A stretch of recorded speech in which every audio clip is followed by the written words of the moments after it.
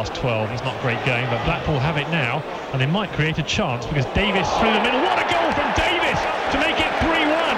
30 yards out, smashes it past McCarthy. And there's something for Blackpool to hang on to. The ball was fed into Davies and, well, what was he, 30 yards? Yeah, I think so. 25, 30 yards, thumped the ball past Alex McCarthy.